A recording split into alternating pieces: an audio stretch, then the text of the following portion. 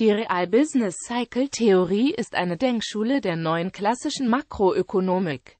Sie argumentiert, dass Konjunkturzyklen durch technologische Schocks verursacht werden. Andere Theorien sehen die Ursache von Konjunkturschwankungen dagegen in Nachfrageschwankungen, der Verfehlung der optimalen Geldmenge als Folge verfehlter Geldpolitik oder als Angebots- oder Nachfrageüberhang infolge von Preis- und Lohnrigiditäten. Vertreter Die wichtigsten Vertreter der Real Business Cycle Theorie sind Edward C. Prescott und Finn E. Kütland, die 2004 gemeinsam den Preis für Wirtschaftswissenschaften der schwedischen Reichsbank in Gedenken an Alfred Nobel erhielten. Weitere zentrale Figuren sind Robert J. Barrow, Robert G. King, Charles Plosser und Sergio Rebello. Methodik Methodisch orientiert sich die Schule der Real Business Cycle Theorie eng am von Robert T. Lucas in den 1970er Jahren entwickelten dynamischen allgemeinen Gleichgewichtsmodell. Dabei gehen die Modelle im Sinne einer Mikrofundierung von repräsentativen Wirtschaftssubjekten aus. Aus den Nutzenfunktionen der privaten Haushalte und den Gewinnfunktionen der Unternehmen sowie deren Nebenbedingungen werden allgemeine Gleichgewichtsbedingungen abgeleitet, die die wirtschaftliche Dynamik charakterisieren. Dies steht im Gegensatz zu älteren makroökonomischen Schulen wie der keynesianischen oder monetaristischen.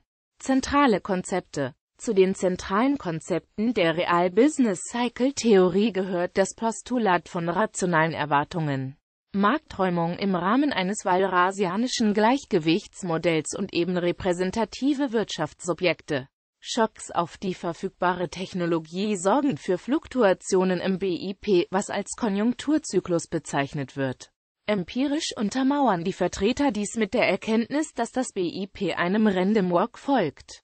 Dieses Ergebnis wurde 1982 von Charles Nelson und Charles Plosser erstmals im Journal of Monetary Economics veröffentlicht und erregte großes Aufsehen. Damit ist die Schule der Theorie realer Konjunkturzyklen eng mit der modernen Zeitreihenanalyse verbunden, die seit den 1970er Jahren unter anderem von Christopher Sims mitentwickelt wurde. Eine weitere zentrale Annahme betrifft die intertemporale Substitution von Arbeit. Es wird angenommen, dass Haushalte bei niedrigem Lohn weniger arbeiten, um bei hohem Lohn viel zu arbeiten. Kritik Die Real-Business-Cycle-Theorie beruht auf drei Annahmen, die nach Ansicht von Ökonomen wie Greg Mankiw und Larry Summers unrealistisch sind. 1. Im Zentrum dieser Konjunkturtheorie stehen Technologieschocks. Abgesehen von dem Ölpreisschock in den 1970er Jahren ist der Erfinder der Theorie Edward Prescott nicht in der Lage spezifische Technologieschocks zu nennen, die bei historischen Konjunkturschwankungen eine Rolle gespielt haben sollen. Zudem gibt es auch keine mikroökonomische Fundierung für die großen Technologieschocks, die diese Theorie voraussetzt. Weiterhin werden die Real-Business-Cycle-Modelle regelmäßig nicht gegenüber alternativen Erklärungen getestet. In den meisten Fällen gibt es aber sehr plausible Alternativerklärungen. 2. Arbeitslosigkeit entsteht dadurch, dass sich die Menschen dafür entscheiden, weniger zu arbeiten.